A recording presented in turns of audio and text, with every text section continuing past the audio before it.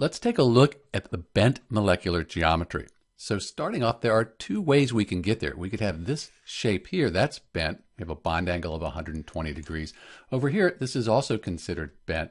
We have a bond angle here of 109.5. It's kind of a generic bond angle. So let's talk about each one of these, how we end up with these, look at some examples, and maybe look at things in three dimensions to make sure we understand. Let's start with this one here. So a good example here would be SO2. We have the central sulfur here, then we have that lone pair, that's here, and then we have these two oxygen atoms out here.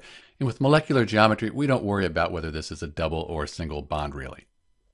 So let's look at this in three dimensions. So remember we had that central atom, that's the purple, say that's the sulfur. Add the two oxygens, one, two, and they spread out. They're as far away from each other as they can be. And then we're going to add that lone pair.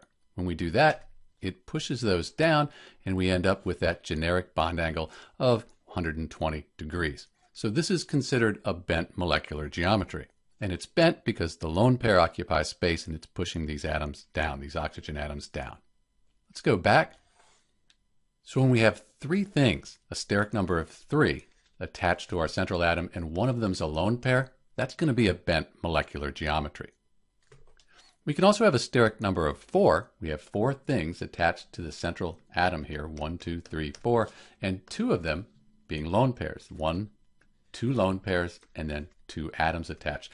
That's going to be bent as well, but this bond angle here, it'll be less because now we have two lone pairs pushing down. A really good example of this, water.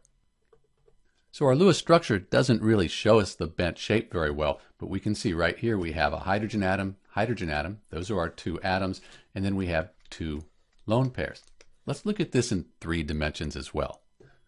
So we'll consider this our oxygen. Let's add two hydrogens and they spread out and we'll add a lone pair. Remember we have two, so let's add one lone pair and we get that same thing as SO2, that same molecular geometry, but that second lone pair pushes it down further, so our bond angle ends up being smaller. In this case, this is a generic bond angle. Water turns out to be 104.5, but we still consider it bent. So this number will vary depending what you have attached to that central atom, but right around 109.5. Let's go back. So when we have four things attached to that central atom, and two of them are lone pairs, that's going to be bent as well.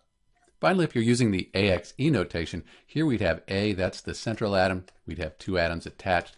In E, the number of lone pairs. So we'd have AX2E, and you could look that up. That would be a bent molecular geometry. Down here, we'd have A, again, two atoms, and then two lone pairs. So this would be AX2E2. If you look that up, that's also bent. What's different will be the bond angles. This is Dr. B looking at a bent molecular shape or geometry. Thanks for watching.